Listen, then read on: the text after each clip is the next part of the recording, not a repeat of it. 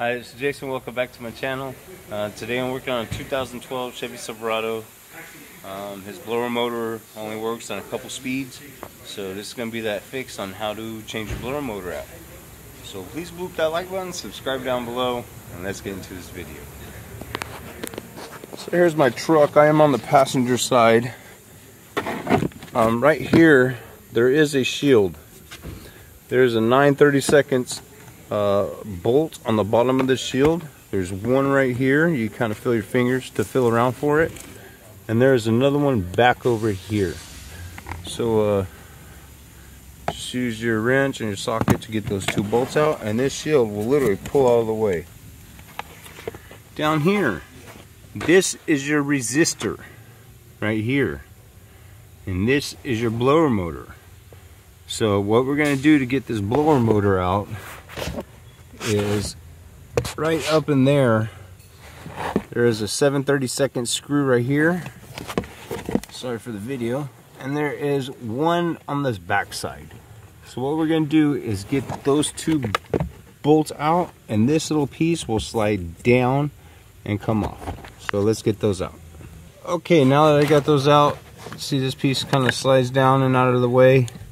Um, back up in here there's a tab on the side. See that tab? We're gonna pull that tab down and we're gonna spin this thing clockwise. And it'll drop out. And there is my blower motor. Uh, what was happening to this blower motor, I turned it on the low speeds, it wouldn't work. As soon as I turned the blower motor upside down, it'd start working. So I know it wasn't the resistor. Now resistor usually it won't work on some of the speeds are only on a couple speeds. So what we're gonna do is unplug this connector right here and then we'll plug in our new our new blower motor.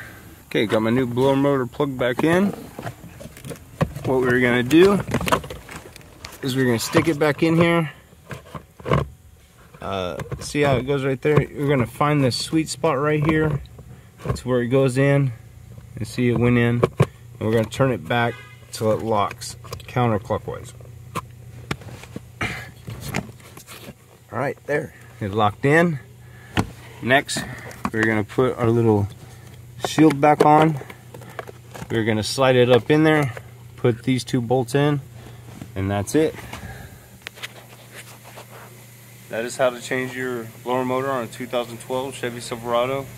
Um, it's really not that hard, very easy. I hope you like this video. Till next time.